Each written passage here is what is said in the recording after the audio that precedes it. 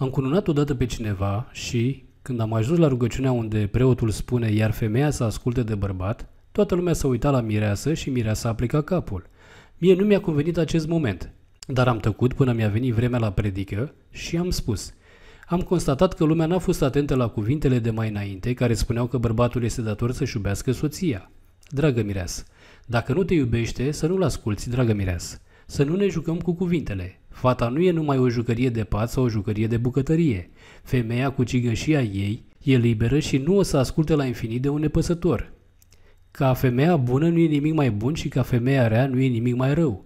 Deci trebuie cu orice chip să o faci bună. Ajungi la atâta intimitate păstrată cu atâta pudoare în viață de a nu se descoperi. În căsnicie totul e dăruit și tu încerci să ai autoritate de bărbat urbat asupra ei. Deci ea rămâne pe tron și așteaptă să descoperi valorile.